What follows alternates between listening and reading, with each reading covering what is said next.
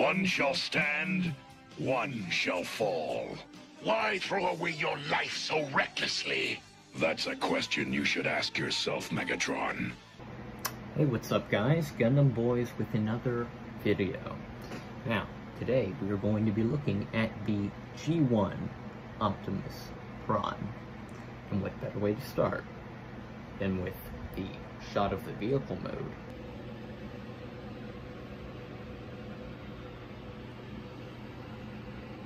And then a quick follow-up with the robot mode.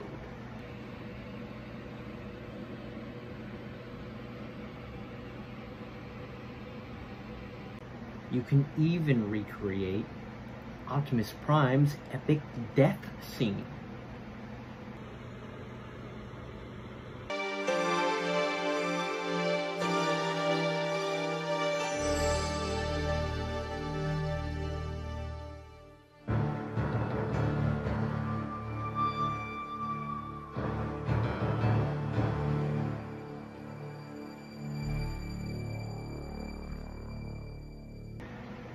Optimus Prime dying was Crash! forgetting about the atrocities Hasbro has committed.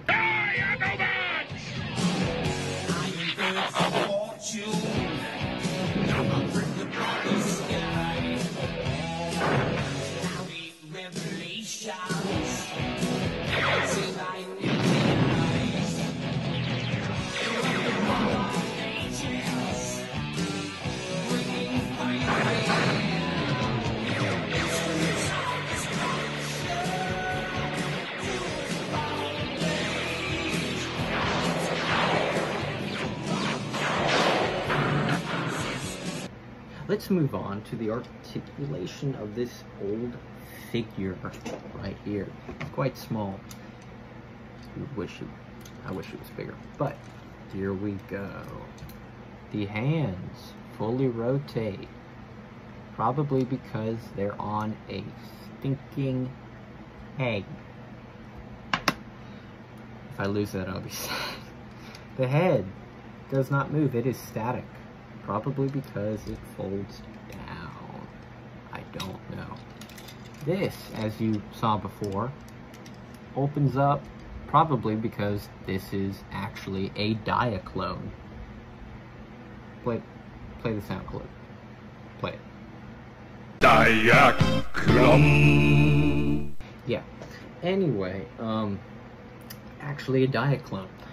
Now, we, I'm just gonna say it's for the matrix of leadership. Uh, um, the arm goes 360 degrees. It goes back like this for the transformation. It folds down like that and up like that. You don't get much. This thing's old. Don't be mean. Um, a kick to the front. You get nothing. Kick to the back. The best because that's part of the transformation. The toe goes back that far, probably because of the transformation. It's old. I still like it though. Even if this is a piece of... Come on, Danny. Crash!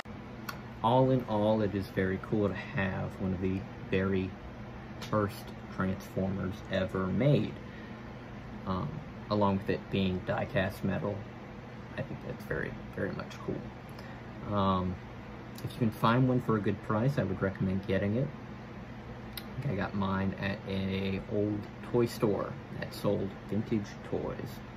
I think I got it for around 40, 40 to 50 something bucks with the trailer, which is not easy to find, and both fists, which is also not easy to find. So, one out of, on a scale of 1 to 10, I give it a 6.